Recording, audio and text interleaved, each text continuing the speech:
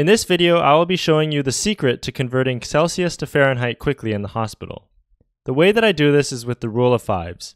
One important thing to note is that an official fever is defined by a temperature of greater than 38 degrees Celsius or 100.4 degrees Fahrenheit. Take a look at the Fahrenheit side and you'll see that all of the digits add up to 5, and this is part of an essential part of the rule of fives. Each time that we add 0.5 degrees to the Celsius side, we will increase the temperature, but all of the digits have to add up to a total of 5.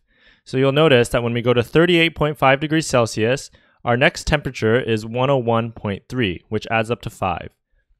At 39 degrees, we go up to 102.2, and the pattern continues, with each time the total digits in the Fahrenheit side adding up to 5.